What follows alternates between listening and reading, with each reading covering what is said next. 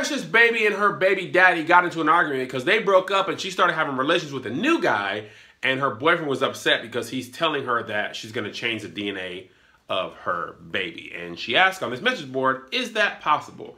And here's my thing. If you don't know with 100% certainty that once a baby is formed, the DNA is locked, maybe you shouldn't be having children. That's all I'm saying. I know she says Pacific when she means specific. I know she says Texas when she means text messages. I know she says irregardless when she means regardless, and her boyfriend is a complete idiot because he really believes it. At least she's questioning. He's just telling her, well, you know, the enzymes and the traits is conferring with one another, and the DNA is going to change because of the sexual relations of the dichotomy. You know he's throwing in words that he don't know what they mean because he don't want her to make sweet love to nobody else. Neither of y'all should be having unprotected sex if y'all don't know this with 100% certainty. Y'all need to sit down somewhere and be young.